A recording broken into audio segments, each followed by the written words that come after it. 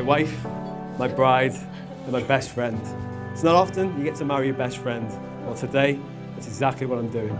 Not only that, I truly believe Becky's my soulmate. When I saw you coming down the aisle, I realised how lucky I am. I didn't know what true love was until I met you, but I instantly knew we had something special.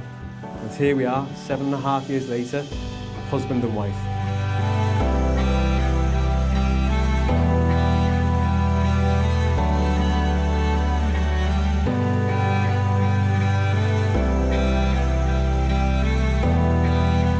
Please wear this ring that I give to you as an outward symbol of the vows that we have made today and of the life that we share together. I promise to love you in good times and in bad, and to be with you always. I just want to thank you for marrying me, making me the proudest man alive. You're caring, thoughtful, and always put others first. You challenge me, you support me, and love me for who I am, while also, also bringing out the best in me. And I couldn't have found a more special person to take in life and grow old with. And I know that no matter what life throws at us, we'll always be there by my side.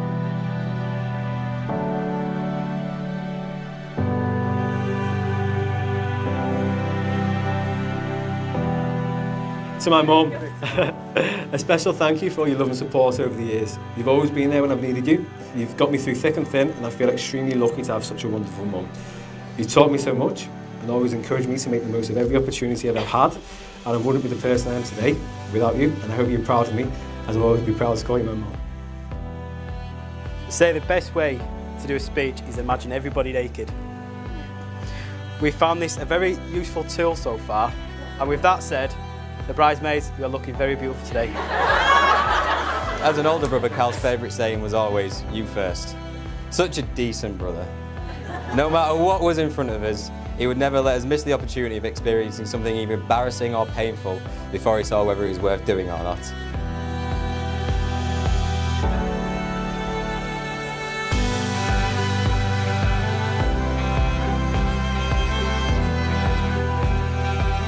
Karl had these days where he was extremely thoughtful. Uh, I remember my 21st birthday, he sent me a text message saying, happy birthday, Ben, have a great day. P.S. Mum made me send this. As we near the end of the speech, we just want to say how much of a great couple you both make together. You must make so many people so proud each and every day. You're an awesome brother, Karl, and we love you loads. P.S. Mum made us say that.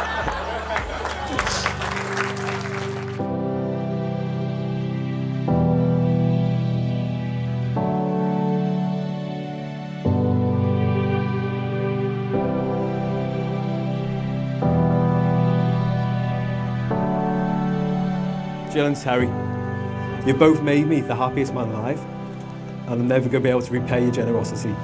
But I can promise you, I will always love Becky with all my heart and for the rest of my life, and I will do everything I continue to make her happy.